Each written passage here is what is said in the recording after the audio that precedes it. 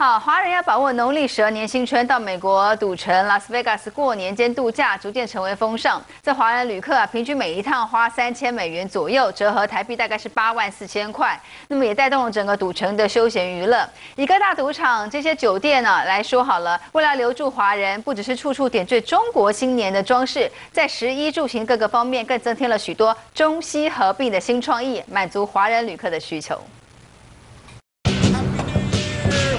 全球家喻户晓的麦当劳叔叔打头阵，一阵敲锣打鼓声中，第二届赌城中国新年游行走上街头，紧跟着各民族舞蹈，有的穿着华丽，有的民俗风十足，甚至连海盗船长也带一伙人来庆祝蛇年，让不远千里而来的围观民众看得好开心，似乎这趟来对了。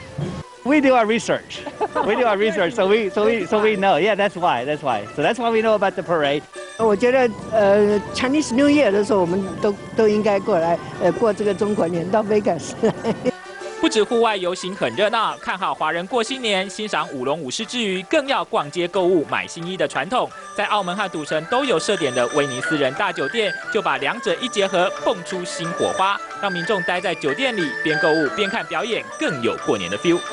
我们越来越有中国化，很多中国的元素在在我们的楼里边啊，中国的音乐啊，然后很多我们会经常带一些中就是华人华人啊有影响的艺人啊音乐家来我们这里表演，所以很多娱乐上的角度来说，有很多可以 offer 的地方。看老北京师傅展现巧手艺，一阵上下甩手，面就像有了生命一般，越拉越细。师傅表示，因为游客来赌城过年围炉，当然会想吃道地北方家乡味，因此赌城凯撒宫特别把他们从大陆请来开店，延续中华面点的传统风味，更希望中西合并，打造出赌城在地的特色菜。这个面怎么为什么这么转呀转呀转呀，最后出来面了，而且细的一根一根特别特别细。有的最细的时候要表演到最细的时候，能可以跟这个头发一样这么细，